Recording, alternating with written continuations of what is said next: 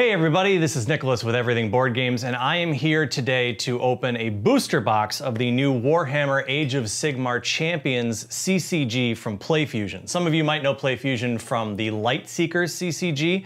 Uh, Warhammer is a new uh, IP for PlayFusion, and they've taken a lot of the Lightseekers mechanics, uh, resourceless, there's no mana or anything like that, uh, deck building, some of the ideas, and most specifically, the idea that uh, of rotation, the cards that rotate throughout the game. And uh, they've made it into a four lane, one faction CCG. So I'm gonna be opening up some of these packs. We're also gonna have a contest at the end. Uh, you're gonna be eligible to win one of these four campaign decks along with a pack of sleeves and some additional packs, as well as some extras on behalf of PlayFusion and Everything Board Games.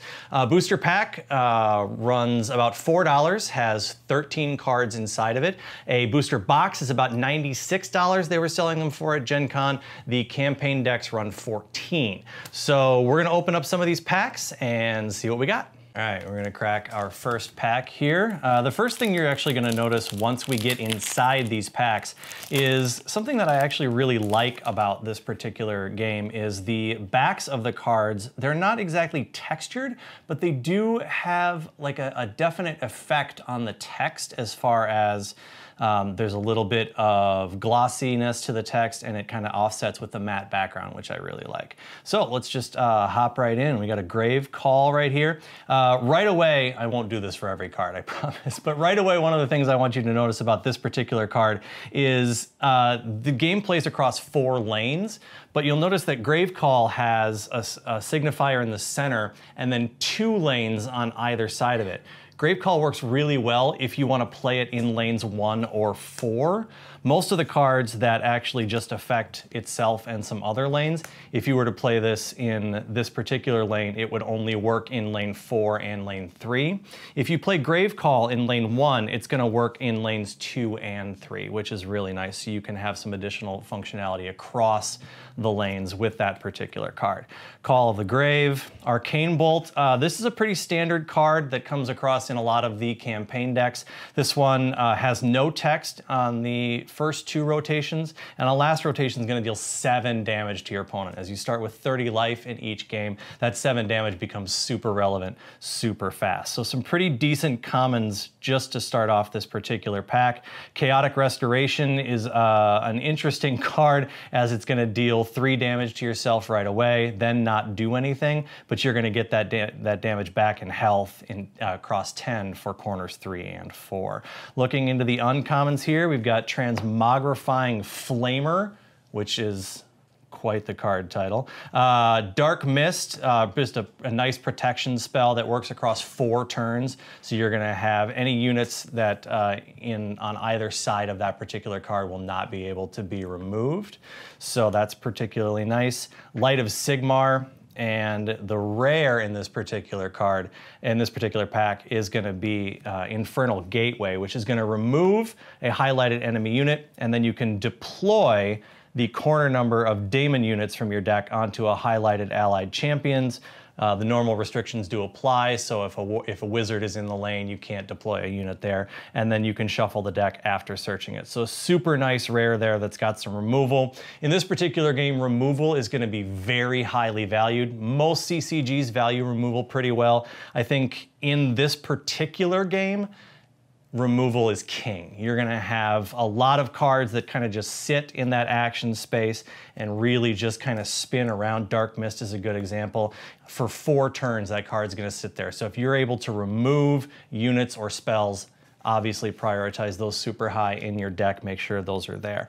Now we're gonna go to uh, the last four cards in this particular deck excuse me, in this particular pack. We've got Light of Sigmar again, which is a, an uncommon we talked about already. Uh, Gaunt Summoner, this is a champion. He's got a heroic act, will deal two damage to yourself, but then you can move one daemon unit from your discard pile back into your hand. A nice champion to have for that faction. An uncommon here, Reaping Cairnwraith, reduce damage received by the highlighted champion's abilities by two. A pretty good card to have in a deck where you're gonna want some damage mitigation in that lane. And what I really like about uh, Warhammer Age of Sigmar is every single booster pack contains a foil card. So you're gonna notice some really nice foiling on this piercing shot. It is just a common. Uh, in every pack, you're gonna have the option of getting either a common, an uncommon, or even an extra rare in that foil slot. So this one just a common, but does three Ren damage to your opponent instantly and then comes right off. So super nice if you want to pile with uh, a champion that needs to do some damage that'll do really nicely. So pack one, feeling pretty good about that particular pack. Let's go ahead and open up another one here and then I'll show you something super cool about uh, this particular game and its digital app. And once again, another grave call right off the top. We've got Unholy Vitality, which is just gonna do some uh, increasing health gain across the motion.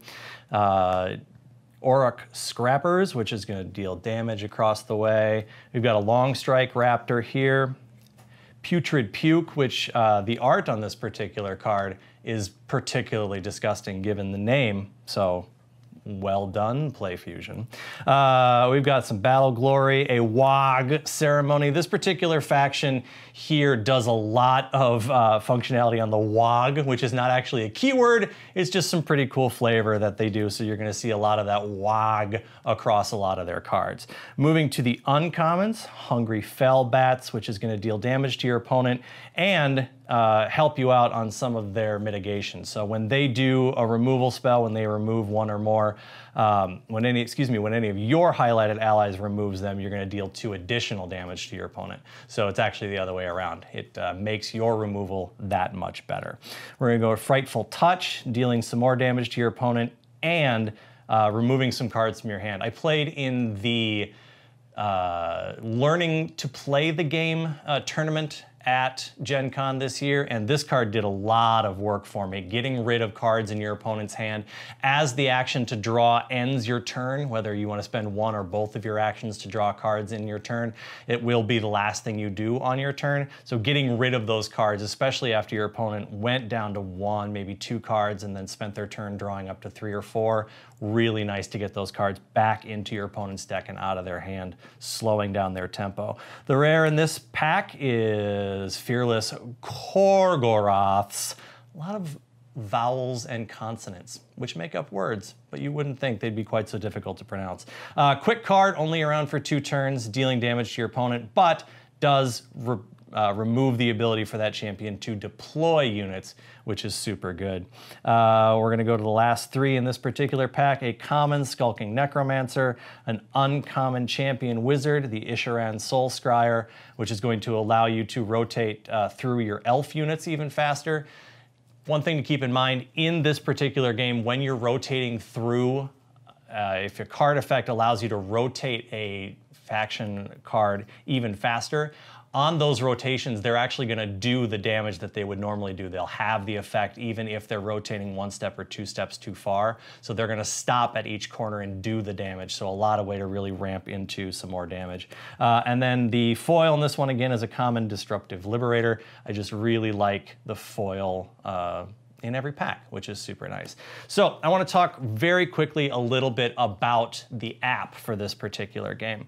You uh, download the companion app, which will currently not allow you to play the game inside the app with uh, online opponents, but sometime in the future will allow that functionality. Right now, it allows you to take your physical collection and scan it into your digital collection, which is super cool. So if you have a bunch of cards, you open a pack, and you're like, I just want to get these into my digital collection very quickly, very easily. Here's what's really cool. If you have a device that has a camera on it and the app installed, what you can actually do is go inside the app and tap on the scan cards button. This will uh, give the app access to your camera and then what you can do is if you hold it with any number of cards inside that particular camera, it's actually going to scan those and bring them in.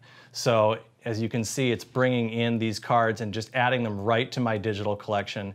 Now, what's super cool about this particular game is once I've scanned all these cards in, they are they belong to my digital collection. But as this Battle Glory scans into my collection, I've only got one copy of Battle Glory in my collection. It doesn't give me access to an unlimited number of Battle Glories. It will just give me this one. And how it does it is there are these uh, black cutouts along the border of the card. Each one of those is unique to the card that it's found on. So every one of these eight cards, if you were to take your phone to your screen right now and try and scan them, two cool things are going to happen. One, it's not going to let them add it to your particular collection. It will tell you that I own them. But what's super cool about that is you can actually friend me through the app just by scanning your card. So if you're at a tournament and you're playing with some other people, you meet a random opponent that you really enjoyed playing against, all you need to do is take out your app, scan one of their cards in their deck that they've already claimed in their digital app, and you guys are digitally connected to each other through the app, which is a super great way to make friends and do some more cool stuff in that app. I think it's a really great way to add that sort of social connection inside the game.